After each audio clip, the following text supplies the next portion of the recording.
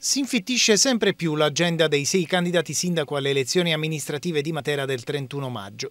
Adduce che intanto ha incassato la disponibilità di Venanzia Rizzi dalla Finlandia a lavorare per la città in caso di sua riconferma, ieri sera ha illustrato le sue linee programmatiche sul turismo in un incontro negli ipogei di Piazza Vittorio Veneto. Mai più autobus turistici nel centro cittadino, ha detto. Riqualificheremo l'area deposito delle FAL, sera rifusa e prevediamo un parcheggio interrato in Piazza della Visitazione. Potenzieremo parcheggi coperti, servizi igienici e uffici informazione.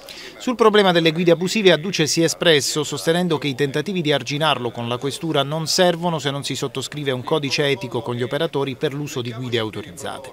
Il candidato infine ritiene necessario implementare l'organico della polizia locale, insufficiente anche per l'età avanzata degli agenti, almeno nei periodi di alta stagione, ed è già stato concordato un corso di base di inglese per la polizia locale. Sempre ieri pomeriggio, invece, il candidato Antonio Cappiello, insieme a simpatizzanti e attivisti della sua lista, è stato in sit-in fuori dal Cara di Via Nazionale per manifestare contro l'arrivo di 2000 nuovi immigrati in Basilicata. Lì ci sono 35 ospiti, ha detto Cappiello, dei quali solo 5 con lo status di rifugiati. Ci sono residenti della zona che si sono lamentati per atteggiamenti poco rassicuranti nei confronti delle figlie. Non siamo razzisti, ha specificato, ma certi fenomeni vanno regolati e se ci sono degli spazi abitabili da concedere, vadano dati prima agli italiani, senza lavoro in cerca di stabilità. Opporsi all'iniziativa attivisti e candidati materani della lista Sinistra Ecologia e Libertà agli antipodi per cultura e programmi politici da portare avanti in questa competizione. De Ruggeri in una nota è intervenuto sulla crisi dell'imprenditoria locale segnalando la necessità di rivalorizzare le zone industriali. La crisi che attanaglia Italia e Europa ha ingigantito la fattura esistente tra nord e sud e in questo quadro di precaria ordinarietà il tessuto imprenditoriale locale sta pagando un prezzo altissimo che si riflette sui vertiginosi crolli occupazionali a cui assistiamo in potenza potenti.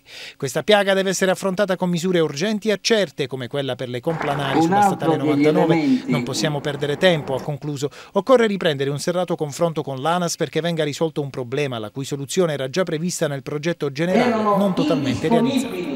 Antonio Materdomini invece ha commentato la sua partecipazione alla manifestazione contro il DDL La Buona Scuola del governo Renzi. La posizione del movimento su questo decreto è sempre stata chiara. Vogliamo il ritiro del provvedimento che non propone nulla di buono, avrà piuttosto pesanti ricadute sui territori creando scuole di serie A e di serie B.